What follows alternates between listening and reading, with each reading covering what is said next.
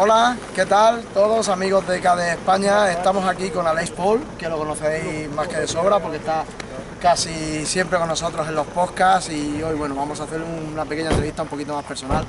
Aleix, cuéntanos, ¿qué haces en, KDE aparte de K-Álgebra, que ya lo sabemos, un poquito de Kirigami, Discover, ¿haces alguna cosa más? Bueno, sobre todo, aparte de desarrollo, que supongo que es lo que estabas quitando en la introducción, sí, claro. pues estoy en, la Junta de, de, KDV, he estado en la Junta de KDE España durante muchos años y bueno, pues un poco facilitar la promoción del proyecto y organizar las cosas que hacen falta aparte del desarrollo en sí. Muy bien. Cuéntanos, Aleix, un poquito más sobre ti. ¿Cómo, cómo llegaste a Linux y a KDE? Pues, no sé, ¿Así friki?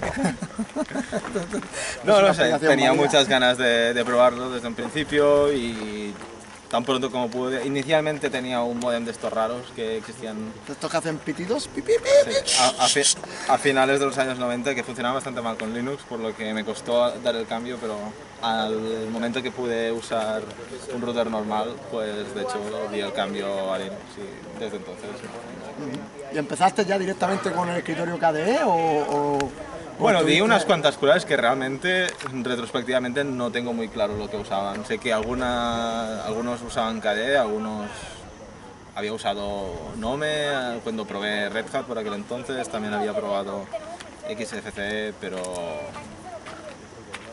tan buen punto empecé a usar Mandrake, me quedé en KDE y no, no, volví. Es curioso, tú también empezaste con Mandrake porque eh, Albert nos ha, nos ha dicho hace un ratito, cuando estábamos en las playas de San José, que él también su primera distribución fue Mandrake. Sí, Mandrake fue la, primera, la primera distribución digamos que me sentí a gusto del todo. La verdad es que Mandrake hacía unas distribuciones muy buenas. Muy bien. Aleix, eh, por no robarte tampoco mucho tiempo, eh, ¿Qué tal? ¿Cómo, ¿Cómo, ha ido la academia? ¿Ha surgido algo así interesante? ¿Alguna discusión que reseñar? ¿Ha ido todo bien? ¿Cómo, ¿Cómo lo has visto? Bueno, ahora mismo lo que tengo ganas es de poderme sentar en casa un rato y de girar un poco lo que ha pasado. Yo creo que han habido cosas muy interesantes. El hecho que esté em, estuviera Slimbook lo, lo veo especialmente interesante. Estuvimos hablando, bastante de Plasma, Plasma Phone, que ahora está en un momento en que cualquier persona pueda, pueda apuntarse y puede echar una mano, que siempre es interesante. Somos un proyecto en, lo que, en el que los contribuidores tienen que venir y gustarles y ahora es el momento pues, para, para que... Para, entusiasmar a la gente y, que, se suban al carro de, Plasma Phone. Plasma también ha estado hablando de, su visión, de hecho daría para un podcast entero, podríamos, podríamos mirar de hacerlo, pero bueno, definir un poco los goles, los, objetivos. Los objetivos de, un proyecto es, muy importante y Plasma lo necesitaba. Y de hecho es bastante interesante ver cómo las piezas se van juntando. ¿no? Por un lado tienes un dispositivo, un dispositivo que es un producto final, que bueno, ha ido saliendo con Plasma.